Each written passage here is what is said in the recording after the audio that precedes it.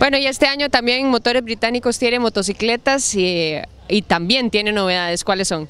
Así es, para este año traemos en las motocicletas Triumph, en las líneas Tiger, tenemos las versiones Low Seat, algo muy conveniente para eh, las personas que andaban buscando una moto que se adecuara más a su tamaño. Entonces la traemos en la versión más eh, dentro de carretera, que es la XRX, y la traemos en la versión XCX, que es más fuera de carretera.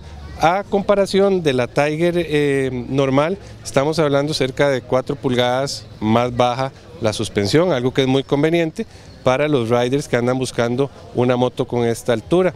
También algo nuevo para este Expo Móvil es que traemos la moto de producción con el motor más grande de la industria, que es la Rocket 3, con un motor de 2.300 centímetros cúbicos. Una verdadera locura, 2.300 centímetros cúbicos. De verdad que sí, los invitamos a todos para que la vengan a conocer. ¿Cuántos son los modelos que tiene la marca?